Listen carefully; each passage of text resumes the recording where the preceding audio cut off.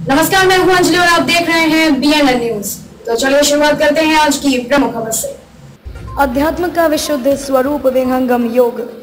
ब्रह्म विद्या विहंगम योग चले अध्यात्म के पथ पर, यज्ञ आहुति से ओजन परत शुद्ध।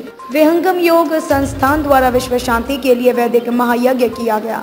डाली आहुति सीएनएन न्यूज़ बकावंट जिला मुख्यालय से 30 किलोमीटर दूर विकासखंड बकावंट के अंतर्गत ग्राम पंचायत सतोषा सत्संग भवन में महर्षि सदाफल देव महाराज का एक सौ जन्म जयंती मनाई गई। इस पावन अवसर पर दो कुंडीय विश्व शांति वैदिक महायज्ञ किया गया और विश्व शांति के लिए मंगलमय कामनाएँ की। सत्संग में विकासखंड सह संयोजक सुधर यादव ने विहंगम योग की जानकारी देते हुए कहा कि हम अपने विचारों से सुख और दुख का अनुभव करते हैं।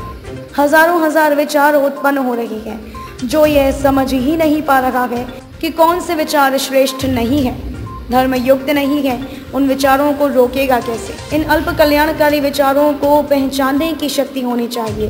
विचारवान व्यक्ति ही विचारों को पहचानता है। विहंगम योग अपनी एक साधना पद्धति के लिए जाना जाता है।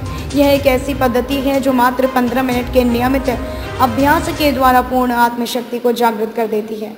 मानव जीवन के पुरुषार्थ, चतुष्ट धर्म, अर्थ, काम एवं मोक्ष की प्राप्ति होती है। कार्यक्रम में उपदेष्टा श्रीमती मालती बघेल, व्यवस्थापक पगनू कश्यप, अजमान मान सिंह कश्यप, चंद्रवती कश्यप मानकू नाग तथा केंद्र प्रभारी चंदन बघेल, रामनाथ बेसरा, दिलीप नाग, जगन्नाथ कश्यप, सिंधु मंडावी, सोनारू बघेल, कपूर सोम और अध्यात्म में प्रेमी शामिल थे। संवाददाता चंदन बघेल सीएनएन न्यूज़ बस्तर, छत्तीसगढ़।